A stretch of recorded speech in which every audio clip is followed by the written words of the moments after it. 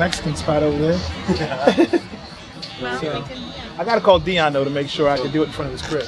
Uh, what's the vibe, man? Of Of that party, like, what's the environment like? pool involved. So Yeah. it's It's some hood shit. It's like just backyard barbecue. right. It's a step away from Doughboy coming home and Boyz n the Hood.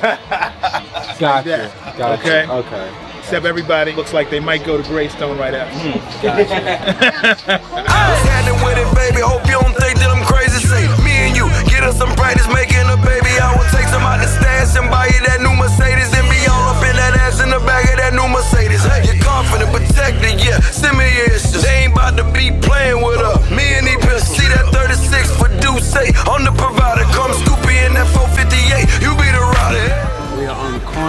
corner in Wall Street. I don't think it's the Wall Street that you're thinking about. Matter of fact, I'm pretty sure it's not at all.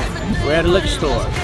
This is part of just the day in the life type thing that we're doing with the video. In relation to the video, uh, me hanging out with my young lady, okay, so it's clear that, you know, I got I got a, little- a little something, you know. But we want those moments that money can't buy. So it's not about going to the most expensive place or the most glamorous place or whatever the case may be. It's just about moving around with somebody, enjoying that person's company, and just having a good time. It's the moments and the people. Those are the things that money can't buy. Everything else, trivial. She said a Rolls Royce or a Civic Daddy, I'ma roll with you.